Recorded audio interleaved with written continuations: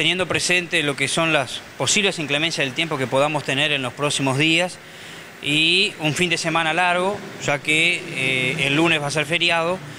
decidimos convocar al Comité Departamental de Emergencia a los efectos de ponerles en conocimiento lo que es la situación actual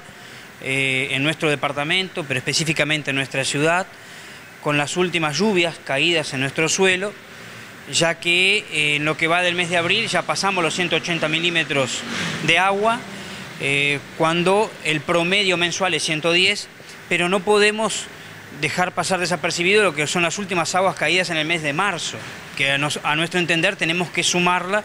porque son allí más de 110 milímetros. Entonces estamos hablando de casi 300 milímetros y en víspera de que el pasado 22 de diciembre la última inundación de gran porte que se produjo en nuestra ciudad,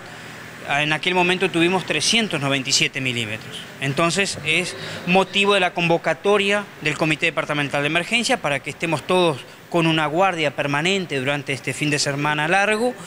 para que pudiésemos definir y repasar lo que cada uno tendríamos que hacer en esta situación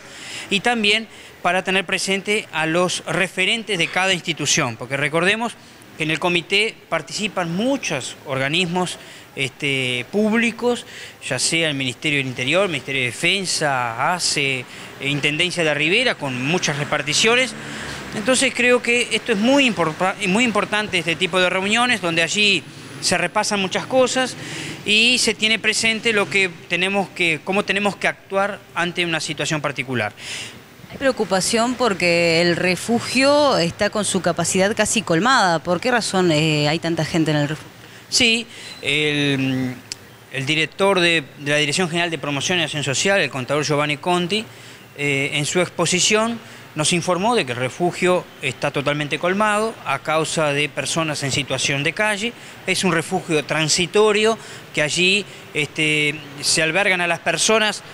por un día, por dos o por tres, según lo que amerite, pero no es en forma permanente. Entonces es el primer lugar donde nosotros recurrimos cuando tenemos que evacuar a alguna persona. Eh, y lo que allí se decidió de que si en algún momento tenemos algún tipo de evacuación, más allá de que el refugio esté totalmente colmado, sus instalaciones, igual trasladamos a ese lugar para que de esta forma nos dé tiempo de recurrir a otro posible albergue eh, en los que manejamos en la reunión.